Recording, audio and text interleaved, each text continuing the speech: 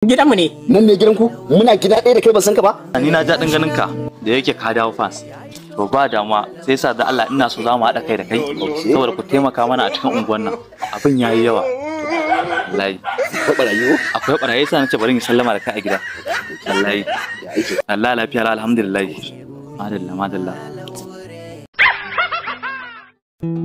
na laure gashi nan na laure ya iso Kai zo nan.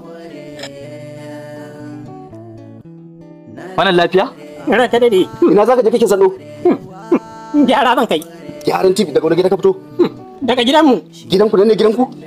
Gidanmu ne. Nan ne gidanku? Muna gida ɗaya da kai ban san ka ba? Yau da safe na kama haya. Dama baka san shi ba? Ban san shi ba. Hi my friend. Ina zaka TV? Ran kai daɗe babu wani boye-boye. Barawo ne. Barawo.